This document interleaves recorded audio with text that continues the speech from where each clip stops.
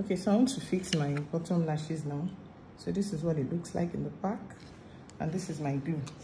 This glue is from classic. So what i'm just going to do chin up a little. Yeah so i'm going to take the glue.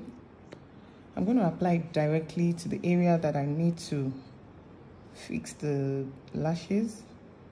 So that's under under the lash line under the lower lash line i'm going to need scissors. Faye, get that for me please? Okay. So repeat the process for the opposite side. The reason why i'm leaving that one on i'm not placing the lashes immediately is because it needs to get tacky before we fix. So under the bottom lash line so take uh, all right so i'm going to pick this um and it usually comes with an extended band yeah. I'm sure that extended band is beginning to sound like a broken record. So i'm trimming off the edges.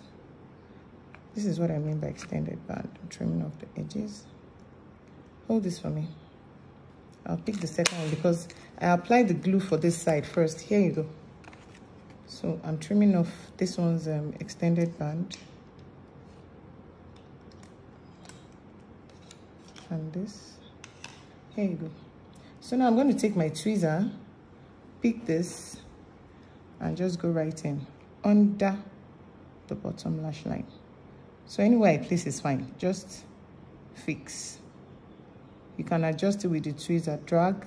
It's still tacky, it's not completely dry, so you can still maneuver it. So here it is.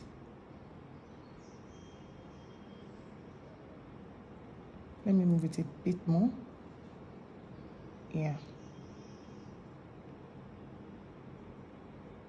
So you move it up.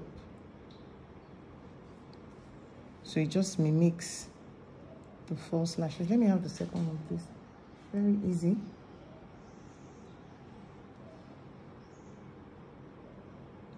So this one is super tacky now. It will just stick one time. No stress